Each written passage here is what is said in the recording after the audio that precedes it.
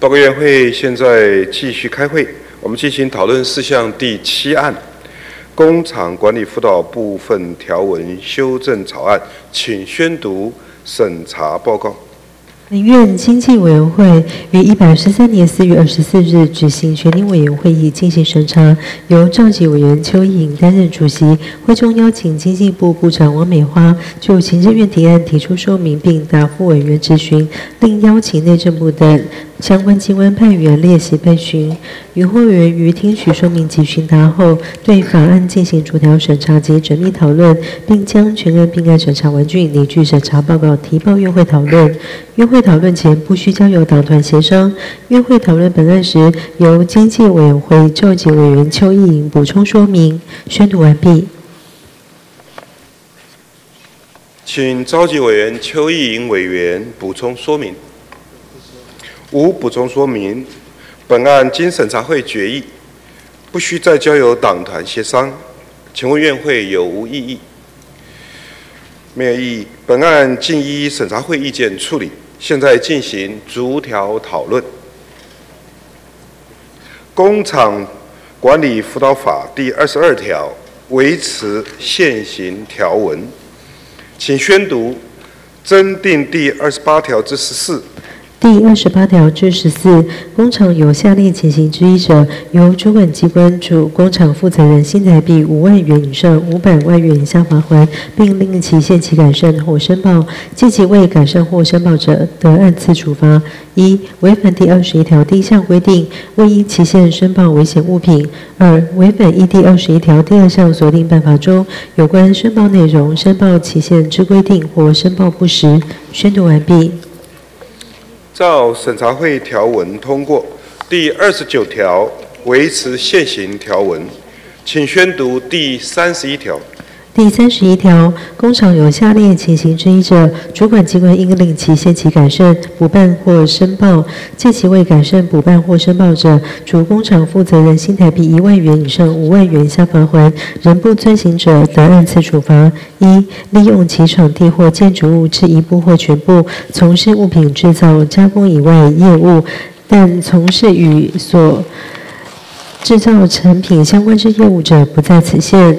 二、违反第十六条第三项规定，变更产业类别为重新办理工厂设立许可或登记而从事物品之制造加工；三、违反一第十七条第一项第一款规定所附加之负担；四、违反一第十七条第一项第三款公告之减量生产或停止生产规定。五、违反第十八条第一项规定，未申报或提供有关资料，或规避、妨碍、拒绝调查；六、违反第十八条第三项规定，未依期限提出申报，或规避、妨碍、拒绝调查；七、违反第二十三条第一项规定，未按月申报或原料储存量；八、违反一第二十三条第二项锁定办法中有关申报内容之规定。宣读完毕。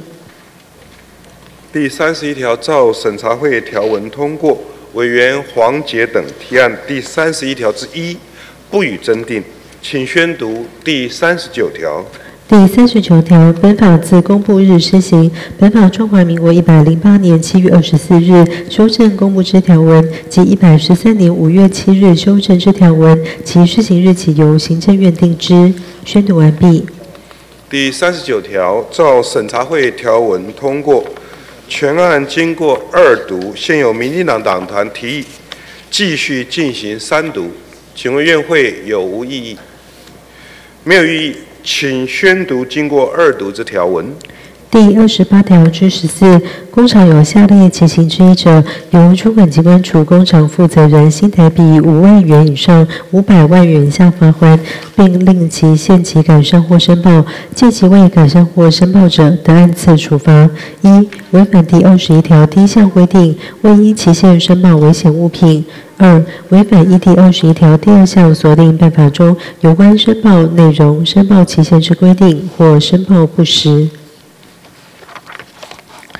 第三十一条，工厂有下列情形之一者，主管机关应令其限期改善、补办或申报，借其未改善、补办或申报者，处工厂负责人新台币一万元以上五万元以下罚款；仍不遵行者，得按次处罚。一、利用其场地或建筑物之一部或全部从事物品制造、加工以外业务，但从事与所制造产品相关之业务者，不在此限。二、违反第十六条第三项规定，变更产业类别为重新办理工厂设立许可或登记而从事物品之制造加工；三、违反一第十七条第一项第一款规定所附加之负担；四、违反一第十七条第一项第三款公告之减量生产或停止生产规定。五、违反第十八条第一项规定，未申报或提供有关资料，或规避、妨碍、拒绝调查；六、违反第十八条第三项规定，未依期限提出申报，或规避、妨碍、拒绝调查；七、违反第二十三条第一项规定，未按月申报其原料储存量；八、违反一第二十三条第三。八、违反一第二十三条第二项锁定办法中有关申报内容之规定。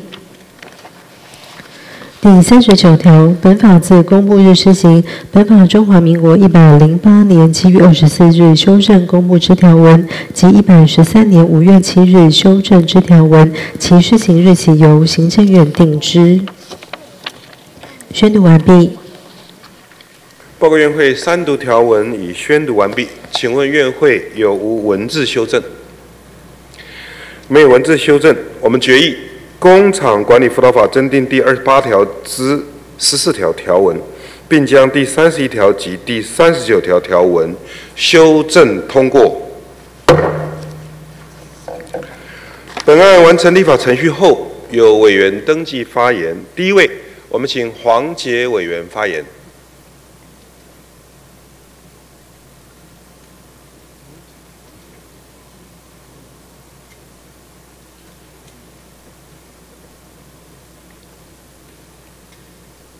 好，谢谢主席，谢谢各位同仁。呃，今天这个功夫法可以修正通过，我是蛮肯定也蛮感动的。因为其实，呃，虽然过去工厂的大火不断的发生，那让我国其实失去非常多位消防员，都让我非常的沉痛，也非常的难过。尤其是去年这个明阳大火，有四位消防员殉职。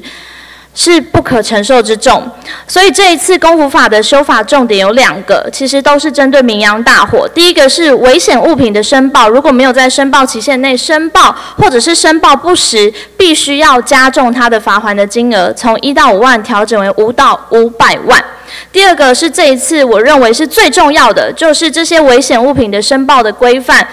没有再让他限期改善的机会了。如果抓到，就必须要开罚，不能再姑息这些违规的工厂。所以落实工厂的管理以及危险物品的申报，是保障公共安全的基础。去年明阳大火之所以会有如此严重的伤亡，就是因为明阳的公司在他的厂房内囤积了超过管制量三十倍的危险物品。这个我现在想起来还是余悸犹存哦。没有办法如实申报，导致消防员无法事先预判救灾的风险，然后及时的调整救灾的计划。让他们必须要硬着头皮进到这么危险的火场里面，所以这次的修法不只是加强工厂必须要对自身公安他自己要有管理的责任，也是落实最重要的资讯权。让消防员不用在状况不明的情境下，可以要进到火场。那我也希望我们一刻都不能懈怠。虽然这只是第一步，未来我们要谨记过去惨痛的经验，来落实工厂的管理方方面面，不再让消防员陨落。希望我们一起为消防员来守护我们的家园。谢谢。谢谢黄杰委员的发言。接下来，我们请登记第二位张启凯委员发言。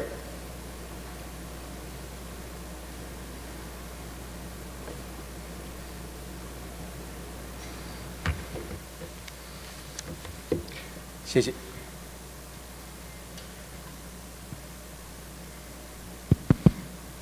哎，应该已经有了噻。哎，多谢啊，主席。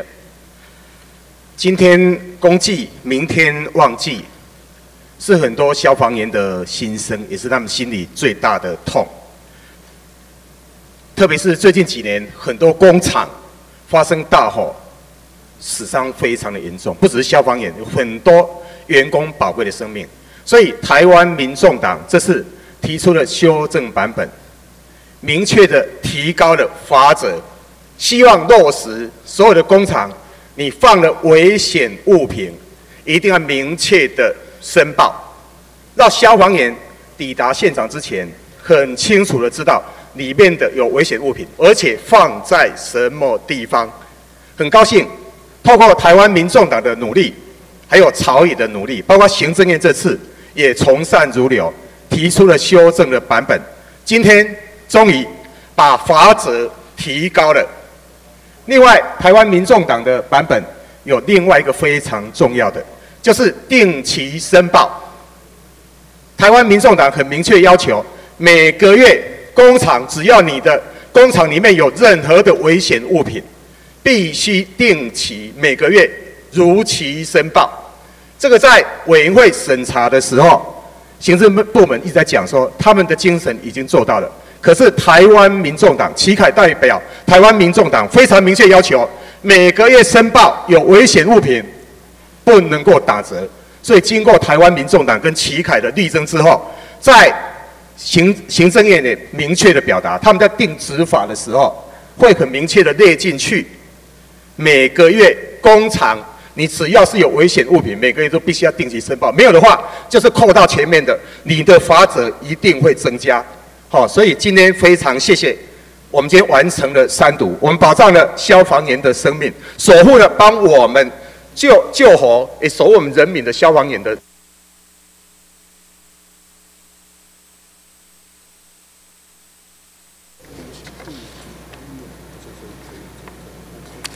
谢谢张启凯委员的发言。报告院会，发登记发言委员均已发言完毕。现在我们进行讨论事项第八案，国际法部分条文修正草案，请宣读审查报告。本院内政委员会于一百十三年四月二十四日召开全体委员会议审查本案，由吴兆启委员起名担任主席。除邀请提案委员说明提案要旨，并邀请相关机关列席报告并被质询。经报告及询答完毕，旋即进行逐条审查。与会委员听取说明，并经缜密讨论后，将全案并案审查完竣。本案并案审查完竣，拟具审查报告提报院会讨论。院会讨论前不需经党团协商，并推起无召集委员齐名于院会讨论时做补充说明。宣读完毕。请召集委员吴其明委员补充说明。无补充说明。报告院会，本案经审查会决议，不需再交由党团协商。请问院会有无异议？没有异议，本案经一审查会意见处理。现在我们进行逐条讨论。我们国际法第二条维持现行条文，请宣读第四条。第四条，外国人或无国籍人，现于中中华民国领域内有住所，具备前条第一项第二款至第五款要件，于中华民国领域内每年合计有一百八十三日以上合法居留之事实继续三年以上，并有下列各款情形之一者，已得申请规划：一、为中华民国国民之配偶，不需符合前条第一项第四款；二、为中华民国国民配偶，应受家庭报暴力。离婚且未再婚，或其配偶死亡后未再婚，且有事实足认与其亡故配偶之亲属仍有往来，但与其亡故配偶婚姻关系已存续二年以上者，不受与亲属仍有往来之限制。三、对无行为能力或限制行为能力之中华民国国籍子女，有抚养事实、行使负担权利义务或会面交往。四、父或母现为或曾为中华民国国民。五、为中华民国国民之养子女；六、出生于中华民国领域内；七、为中华民国国民之监护人或辅助人。未婚且未满十八岁之外国人或无国籍人，有下列情形之一者，在中华民国领域内合法居留，虽未满三年且未具备前条第一项第二款、第四款及第五款要件，亦得申请规划：一、父母、养父或养母现为中华民国国民；二、现由社会福利主管机关或社会福利机构监护。宣读完毕。报告院会第四条，照审查会条文通过，请宣读第五条。第五条，外国人或无国籍人，现于中华民国领域内有住所，具备第三条第一项第二款之第五款要件，并具有下列各款情形之一者，亦得申请规划：一、出生于中华民国领域内，其父或母亦出生于中华民国领域内。二、曾在中华民国领域内合法居留继续十年以上；三、由中央目的事业主管机关推荐之高级专业人才，有助中华民国利益。并经内政部邀请社会公正人士及相关机关共同审核通过，且于中华民国领域内每年合计有一百八十三日以上合法居留之事实继续二年以上，或曾在中华民国领域内合法居留继续五年以上。前项第三款锁定高级专业人才之认定要件、审核程序方法及其他相关事项之标准，由内政部定之。宣读完毕。报告院会第五条，照审查会条文通过，请宣读第六条。第六条，外国人或无国籍人有书勋于中华民国者，虽不具备第三条第一项各款要件，亦得申请规划。内政部为前项规划之许可，应经行政院核准。依第一项规定申请规划者，免征国籍许可证书规费。宣读完毕。报告院会第六条，照审查会条文通过。委员罗美玲等，委员陈培宇等分别提案第六条之一，均不予增订。请宣读第七条。第七条，规划人之未婚且未满十八岁子女，得申请随同规划。宣读完毕。第七条，照审查会条文通过，请宣读第九条。第九条，外国人申请规划，应于许可规划之日起，或依原属国法令须满一定年龄，使得丧失原有国籍者，自满一定年龄之日起，一年内提出丧失原有国籍证明。届期未提出者，除经外交部查证因原属国法律或行政程序限制属实，致使不能于期限内提出丧失国籍证明者，得申请转延时限外，应撤销其规划许可。未依前二项规定提出丧失原有国籍证明前，应不予许可其定居。外国人符合下列情形之一者，免提出丧失原有国籍证明：一、依第五条第一项第三款规定申请规划；二、依第六条第一项规定申请规划；三、因非可归责于当事人之事由，致无法取得丧失原有国籍证明。宣读完毕。报告院会第九条，照审查会条文通过。第十九条维持现行条文，请宣读第二十条。第二十条，中华民国国民取得外国国籍者，不得担任中华民国公职；其已担任者，除立法委员由立法院、直辖市、县市、直辖市山地原住民区乡镇市民选公职人员，分别由行政院内政部、直辖市政府、县政府、村里长由乡镇市区公所解除其公职外，由各大机关免除其公职。但下列各款经该管主管机关核准者，不在此现：一、公立大学校长、公立各级学校教师兼任行政主管人员与研究机关构首长、副首长、研究人员，含兼任学术研究主管人员及经各级主管教育行政或文化机关核准设立之社会教育或文化机构首长、副首长，聘任之专业人员，含兼任主管人员。二、公营事业中对经营政策负有主要决策责任以外之人员；三、各机关专司技术研究设计工作而以契约定期聘用之非主管职务；四、侨务主管机关依组织法遴聘仅供咨询之无给职委员；五、其他法律另有规定者。前项第一款至第三款人员，以具有专长或特殊技能而在我国不易觅得之人才。且不涉及国家机密之职务者为限。第一项之公职不包括公立各级学校未兼任行政主管之教师、讲座、研究人员、专业技术人员。中华民国国民兼具外国国籍者，拟任本条所定应受国籍限制之公职时，应于就到职前办理放弃外国国籍，并于就到职之日起一年内完成丧失该国国籍及取得证明文件。但其他法律另有规定者，从其规定。宣读完毕。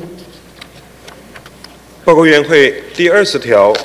照审查会条文通过，全案经过二读。现有民进党党团提议进行继续进行三读，请问院会有无异议？没有异议，我们请宣读经过二读之条文。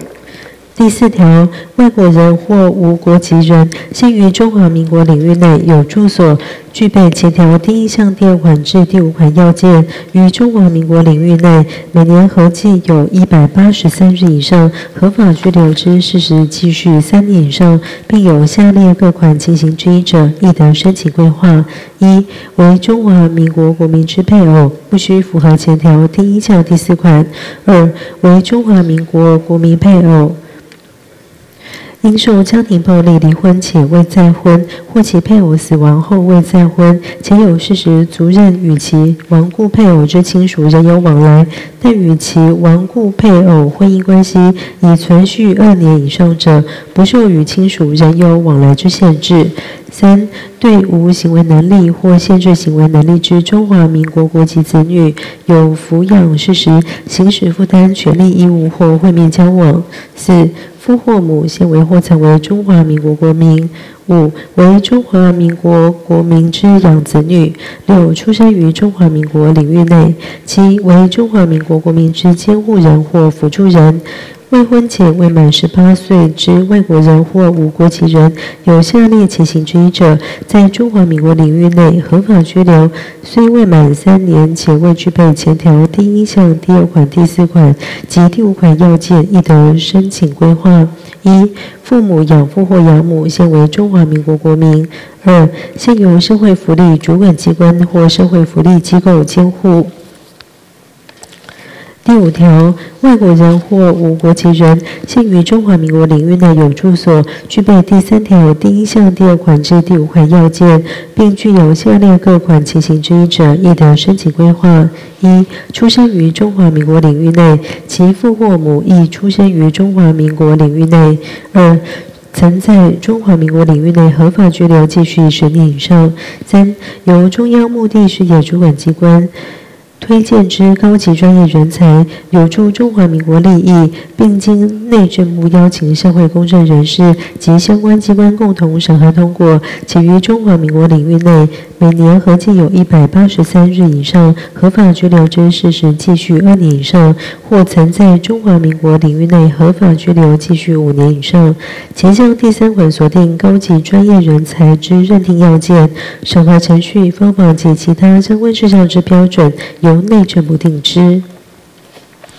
第六条，外国人或无国籍人有书勋于中华民国者，虽不具备第三条第一项各款要件，亦得申请规划。内政部为前项规划之许可，应经行政院核准。依第一项规定申请规划者，免征国籍许可证书规费。第七条，规划人之未婚且未满十八岁子女，得申请随同规划。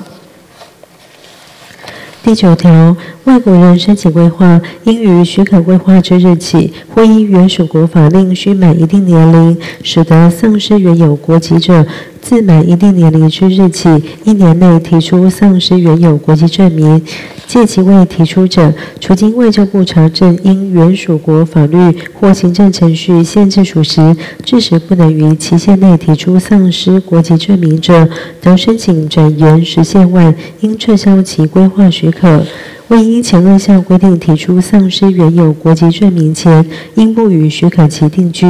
外国人符合下列情形之一者，免提出丧失原有国籍证明：一、依第五条第一项第三款规定申请规划；二、依第六条第一项规定申请规划；三、因非可归责于当事人之事由，致无法取得丧失原有国籍证明。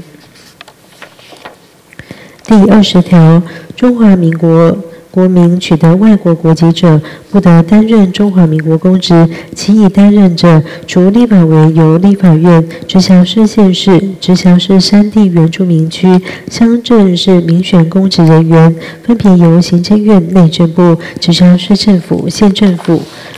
村里长由乡镇市区公所解除其公职外，由各该机关免除其公职，但下列各款经该管主管机关核准者，不在此限。一、公立大学校长、公立各级学校教师兼任行政主管人员与研究机关构首长、副首长、研究人员，含兼任学术研究主管人员及经各级主管教育行政或文化机关核准设立之社会教育或文化机构首长、副首长，聘任之专业人员，含兼任主管人员。二、公营事业中对经营政策负有主要决策责任以外之人员；三、各机关专司技术研究设计工作而以契约定期聘用之非主管职务；四、常务主管机关依组织法遴聘仅供咨询之无起职委员；五、其他法律另有规定者。前项第一款至第三款人员，已具有专长或特殊技能，而在我国不易觅得之人才，且不涉及国家机密之职务者为限。第一项之公职，不包括公立各级学校未兼任行政主管之教师、讲座、研究人员、专业技术人员。中华民国国民兼具外国国籍者，拟任本条所定应受国籍限制之公职时，应于就到职前办理放弃外国国籍，并于就到职之日起一年内完成丧失该国国籍及取得证明文件。但其他法律另有规定者，从其规定。宣读完毕。委员会三读条文已宣读完毕，请问院会有无文字修正？无文字修正，我们决议国际法第四条至第七条、第九条及第二十条条文修正通过。报院会。现有我们委员同仁登记发言，每人发言两分钟。第一位，我们请黄杰委员发言。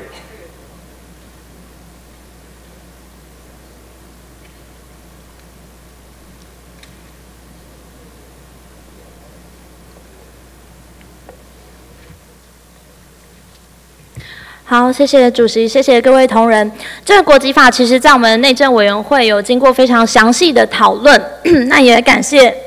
也感谢内政部最后有采纳我们诸多委员的建议。那这一次的国籍法修正重点有两个。一个是要吸引优秀的外籍人士来台，那其实，在二零一六年已经有修过一次了，就是高专人才就可以作为规划的资格。那这一次的修法，我们又更进一步，把过去呃现行是三年要居留一百八十三天以上，现在放宽到两年就可以来申请规划。那这样的呃条文通过之后，其实最马上可以获益的就是台湾的男篮，那我也希望台湾的男篮可以就此来提升竞争力。那接下来可以继续为台湾争光，我也相信是很多爱看篮球的台湾人认为很非常肯定的一件事情。那第二个是处理黑户宝宝的部分，因为目前对于在出生在国外，然后父不详，但是母亲行踪不明的这样的孩子，经程序认定他是无国籍人士之后，现在我们放宽由摄政机关。的监护人就可以代为申请规划，不需要等等到他成年以后。也就是说，对于这一些无国籍人士的孩子，我们可以第一时间给他充分的保障，并且给予人道的协助，来保障这一些孩子儿少的权益。那也证实台湾确实是亚洲人权保障非常。非常前进的一个国家。那当然，我还是要再次提醒，因为我在咨询的时候，还是有提醒内政部，因为现在出生在我国，俗称这些黑户宝宝的孩子，如果他取得规划的资格，他的条件就是要父母不详或是行踪不明为要件。那我还是希望内政部可以再思考，再放宽这些规划的资格，避免增加。故意遗弃这样的道德风险，这会或许是一个可能。那还是非常肯定内政部在这一次国籍法的修法，针对外籍的人才的放宽以及黑户宝宝的保障。以上，谢谢。谢谢黄杰委员的发言。接下来我们请登记第二位罗美玲委员发言。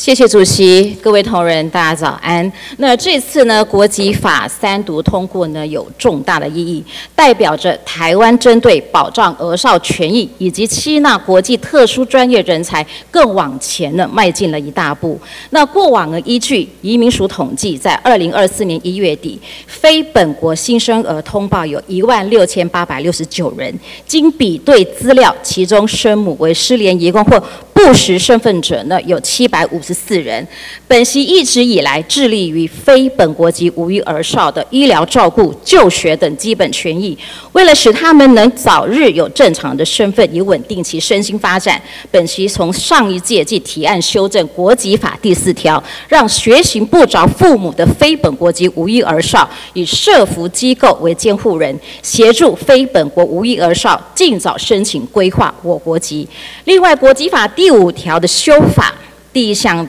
第三款，也就是本席所提的第六条之一，是攸关外国专业人才的规划。世界许多国家近年来目前都面临少子化、缺工以及。抢夺专业人才的压力，尤其在体育或许多特殊专业领域，许多国家积极寻找规划人才以充实战力，因此为吸引外国专业人才留台。本席也在上一届提案修正，降低外国专业人才规划台湾籍的门槛，并提升外专人才留台诱因。今天非常感动，经过本席与许多关心相关议题的立院同仁，连续两届努力推动。今年政院也提出相关修法的版本，最终达成朝野共识，并于今天三读通过修正国籍法。本席希望这次的修法能让原本非本国籍无一而少早日得到该有的权益和保障，使其有更健全的成长环境，也期盼台湾未来有更好的诱因。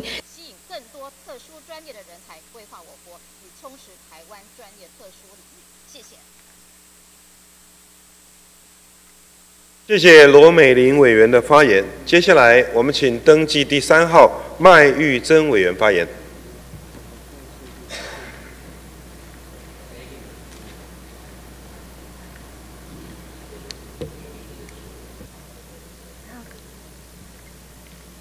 谢谢主席，我们终于迎来了国籍法三读。我想这段时间以来，作为一个新住民立法委员，我们都为了迈向族群融合、多元共融台湾而努力及奋斗。虽然这次修法未完全采纳我们的建议，将规划年龄限制调回二十岁，但是我们努力并非徒劳，因为我们的心中永远与新住民在一起。台湾是高度新住民的社会，移民的社会。新住民已经在这个土地上不可缺的一环。我们为了梦想，为了生活，离开了家乡，来到这个土地熟悉又陌生的土地。然而，我们面临所困难，往往是被人们忽略。就像黑虎宝宝这样的议题，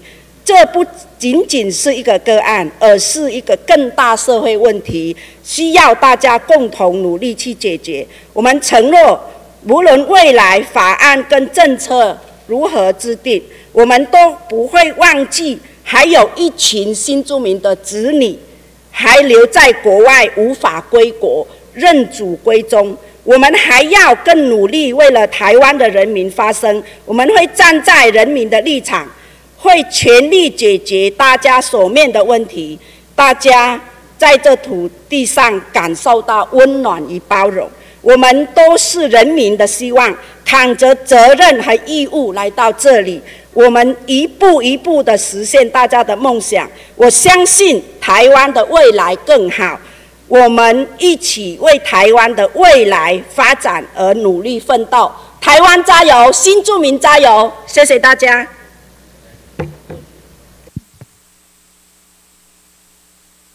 谢谢麦玉珍委员的发言。接下来，我们请登记第四号庄瑞雄委员发言。